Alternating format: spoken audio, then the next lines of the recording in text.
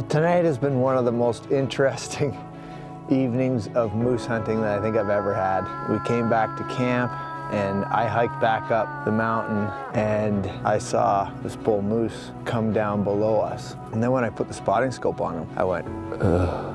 And that is the biggest moose I've ever seen in my life. I, I called, and I actually called fairly hard, and he just really didn't pay any attention to it. He was on the move and in the direction. As I'm watching him, with the spotting scope, I look over and I see the bull that we were calling, you know, all day. He is literally in the meadow that we were calling him from.